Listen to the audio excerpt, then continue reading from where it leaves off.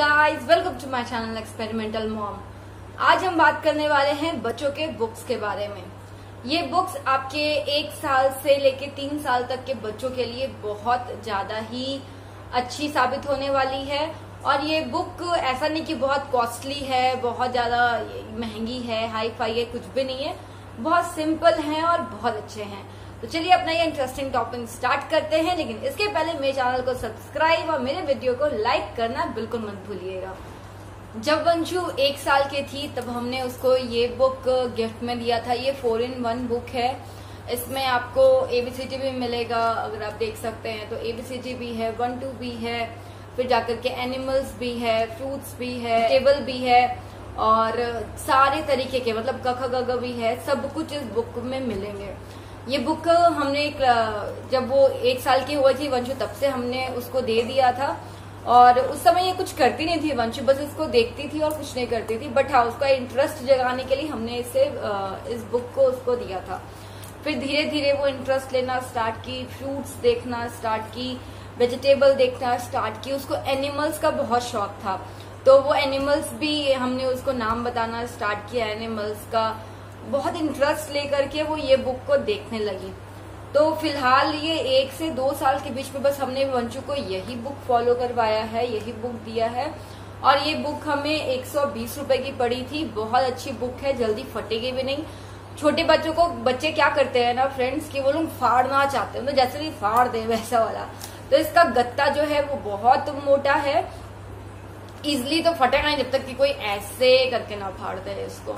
और मैं फ्रेंड्स ये सजेस्ट करूँगी कि प्लीज़ कोई ऐसा हाई फाई महँगा महँगा बुक्स मत लीजिए। सिंपल इजी बुक लीजिए जो कि बच्चे भी अच्छे से समझ पाए और आप बच्चों को समझा पाए।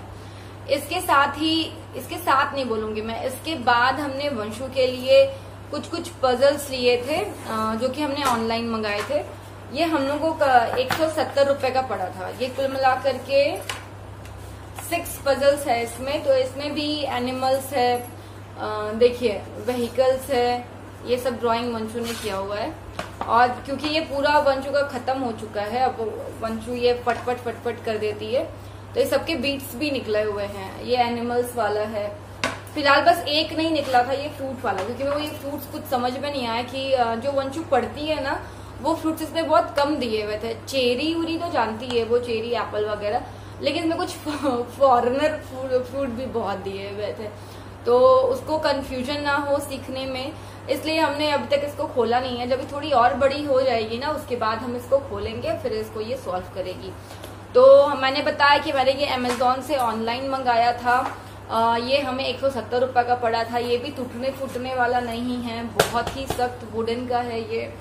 और मैं आपको ये इसलिए सजेस्ट करूँगी लेने के लिए क्योंकि इससे ना बच्चे लोगों का माइंड बहुत अच्छा वर्क करता है कि कैसे हम इसको लगा सकते हैं, कैसे हम इसको अरेंज कर सकते हैं।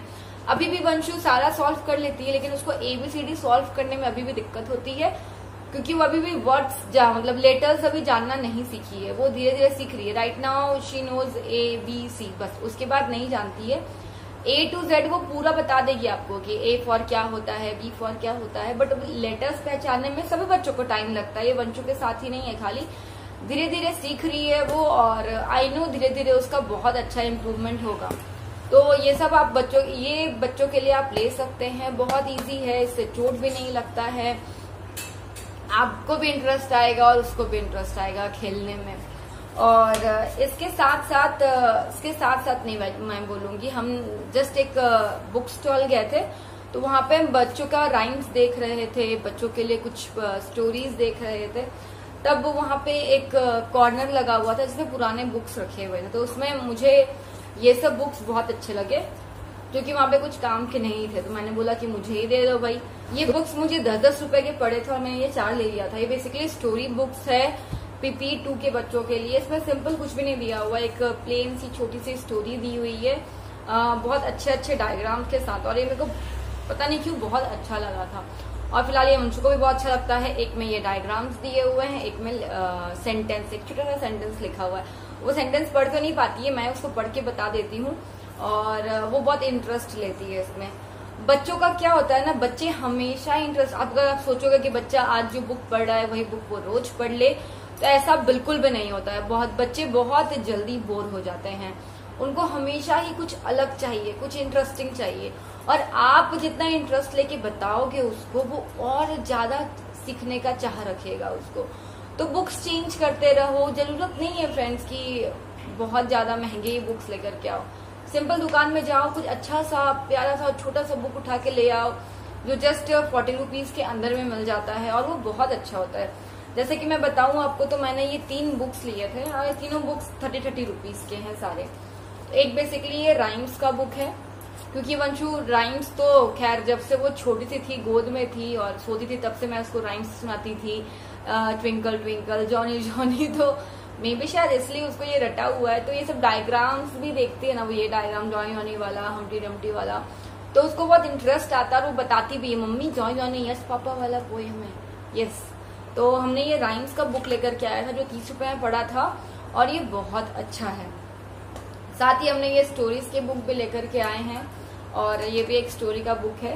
लेकिन दोनों भी वंशु बिल्कुल इंटरेस्ट नहीं लेती है पढ़ने में बट स्टिल मैं ट्राई कर रही हूँ कि वो थोड़ा बहुत भी सुने आ, देखे कम से कम स्टोरीज को लेकिन अभी उतना नहीं कर रही है वो।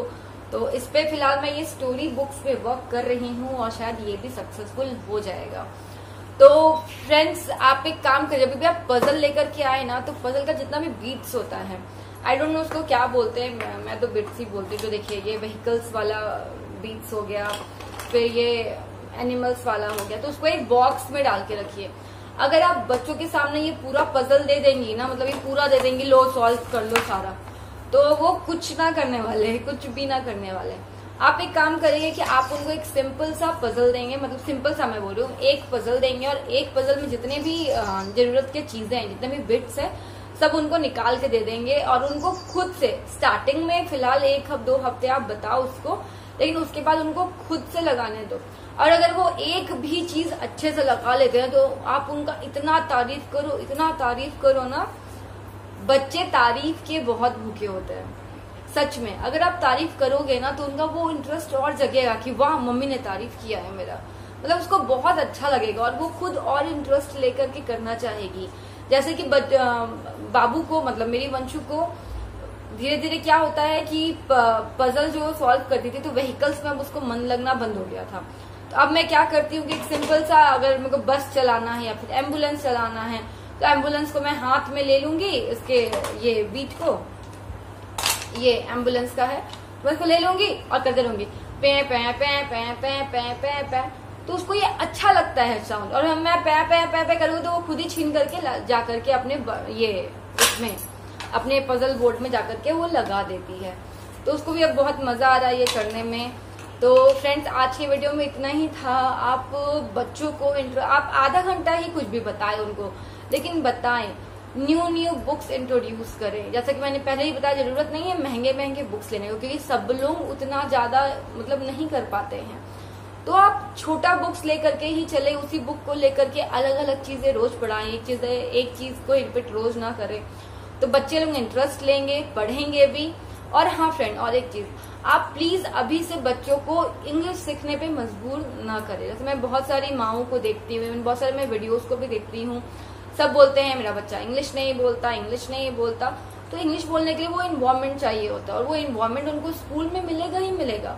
तो क्यों ना अभी उनका मदर टंग हम उनको अच्छे से सिखाएँ। क्योंकि अगर वो मदर टंग अच्छे से सीखते हैं और उनके बातों में रिस्पेक्ट होता है तो आगे जाकर के वो सारा लैंग्वेज सीख सकते हैं और वो बहुत अच्छा कर सकते हैं। आई होप मेरा ये वीडियो आपके लिए बहुत हेल्पफुल साबित होगा। तो प्लीज़ अपना अच्छे से ख्याल रखें मास्क पहने सैनिटाइजर लगाएँ और बाहर कम से कम निकले और अपना ख्याल रखें। मिलती हूँ मैं आपसे अपने नेक्स्ट वीडियो में, तब तक के लिए टेक केयर बाय